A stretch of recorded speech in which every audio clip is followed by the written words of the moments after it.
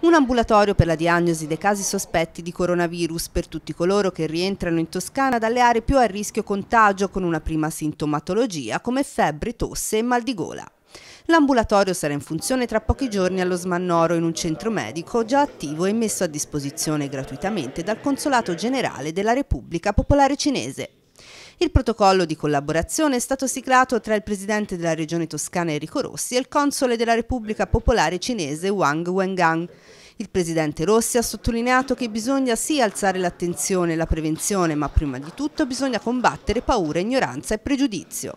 L'influenza del coronavirus non è allo stato attuale sicuramente più impattante in termini di mortalità di quanto non sia anzi abbondantemente di più è la normale influenza stagionale. È giusto prendere tutte le precauzioni, il governo cinese lo sta facendo, noi ci stiamo preoccupando della salute di tutti i cittadini della Toscana e questo protocollo di collaborazione ci aiuta a parlare al mondo cinese e ci aiuta anche a fare un'azione di intervento e di prevenzione molto, molto seria, molto forte, molto rigida. Il consolato cinese informerà i propri connazionali sulle modalità di accesso all'ambulatorio, mentre il personale sanitario sarà messo a disposizione dalla ASL Toscana Centro.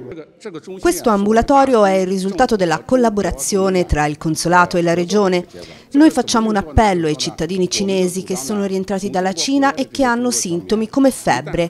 Li consigliamo di chiamare l'ambulatorio per chiedere il trasporto per poi fare il test. In Italia al momento sono stati registrati solo tre casi di coronavirus, sono tuttavia ancora in corso i rientri dei cinesi andati a festeggiare il Capodanno in Cina. Il console cinese ha parlato di 2500 che devono rientrare in Toscana.